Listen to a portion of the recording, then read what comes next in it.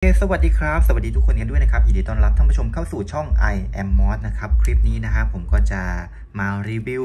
นะครับเจ้าตัวรับสัญญาณ Wi-Fi นะครับตัวนี้รับได้ทั้ง 2.4 แล้วก็คลื่น 5G นะครับนะใน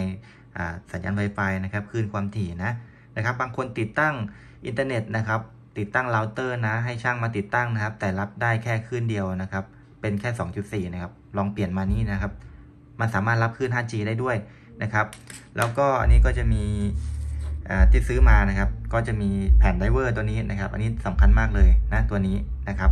โอเค อันนี้ก็ติดตั้งง่ายๆครับผม ก็เอาไปเสียบไปตามคอมเรานะ บางเครื่องนะครับ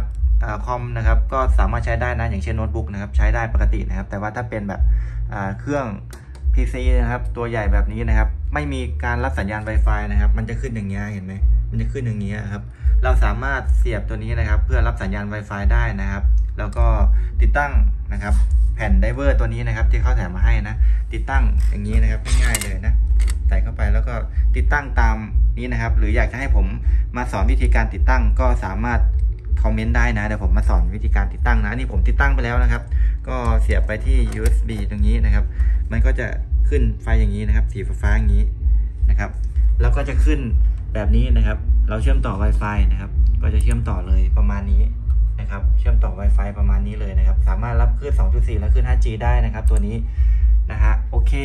สำหรับคลิปนี้ก็มีประมาณนี้นะครับ ถ้าอยากจะได้นะครับ ตัวนี้ก็สามารถสั่งซื้อใต้ลิงก์ได้นะครับ ใต้ลิงก์ในคลิปนี้นะครับ description นะครับ กดเข้าไปได้นะ ไม่แพงนะครับ โอเคสำหรับคลิปนี้ก็มีประมาณนี้นะครับ ขอบคุณที่เข้ารับชมนะครับ สวัสดีครับ บ๊ายบาย see you